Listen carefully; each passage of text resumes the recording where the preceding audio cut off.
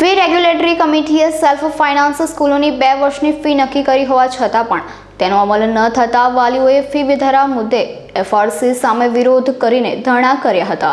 Fee regulatory કમિટીએ self finance સ્કૂલોની છેલ્લા બે વર્ષની ફી નક્કી કરી હતી. તેમ છતાં ઘણી સ્કૂલોએ વધુ ફી વસૂલી છે. વાલીઓએ ફી પરત મેળવવાની સાથે સ્કૂલોને મોટો દંડ થાય તેવી રજૂઆત છેલ્લા બે મહિનાથી કરી રહી છે. પણ એફઆરસીની કોઈ કાર્યવાહી નહીં દેખાતા. રોષે ભરાયેલા વાલીઓએ મંગળવારે એફઆરસી ઓફિસની બહાર અચોક્કસ મુદતની ધરણા પર બેસ્યા છે.